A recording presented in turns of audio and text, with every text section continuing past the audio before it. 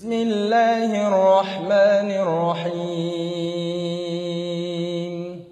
За последние 8 месяцев в Узбекистане ликвидировано 116 худжра, исламских медресе, где обучались несовершеннолетние дети. Об этом в своем спецрепортаже сообщил гостелеканал «Узбекистан-24».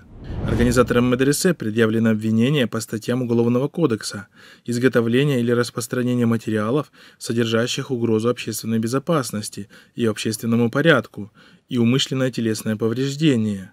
o'zbekiston respublikasi prezidenti zimmasiga yuklatilgan vazifalarni vijdonan bajarishga tantanali qasamyod qilaman Правозащитники в Узбекистане считают, что приход к власти прилежного ученика Каримовской системы Мирзиёева сопровождался введением символических реформ, в том числе и в отношении религиозных свобод.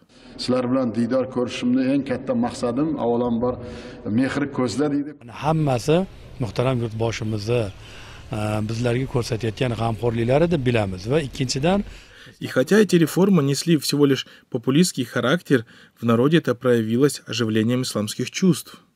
Многие религиозные деятели из народа открыто возобновили обучение исламу подрастающего поколения.